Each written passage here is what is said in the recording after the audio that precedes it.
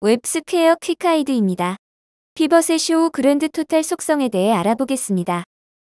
이 속성을 사용하면 피벗 테이블에서 각 열과 각 행의 총 합계를 표시할 수 있습니다. 사용 방법입니다. 총 합계를 표시할 경우 showGrandTotal 속성 값을 true로 설정하십시오. 예제를 통해 확인해 보겠습니다.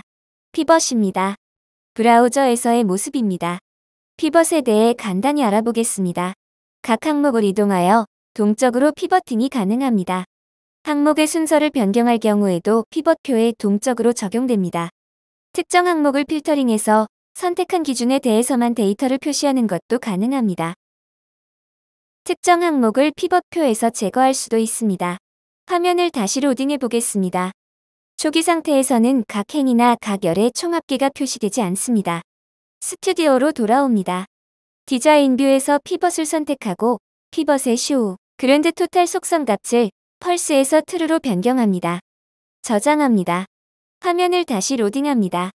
우측에 총합계 column이 생성되어 각 행의 총합계가 표시됩니다. 하단에도 각 열의 총합계가 표시되는 것을 확인할 수 있습니다. WebSquare Quick Guide를 시청해주셔서 감사합니다.